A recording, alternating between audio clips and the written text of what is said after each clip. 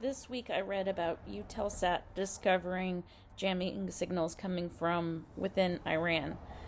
Uh, the jamming, the jamming signals have been disrupting two of their satellites that are in geostationary orbit, and this is important because um, provides foreign broadcasts to the Iranian people inside the country, and uh, these signals have been traced, but coming from Iran itself, and um, the specific satellites that were targeted uh, were the only channels which broadcast in Farsi but are located overseas, so they're not subjected to the regulations coming from the Islamic Republic of, of Iran Broadcasting.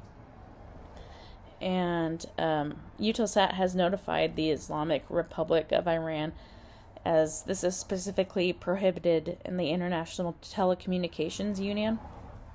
And to me, this just demonstrates how important space cybersecurity is not only for warfighters and uh, government officials, but for common citizens as well. If a country has total control over what news comes in and out of the country, then they have um, control over what information their citizens can access.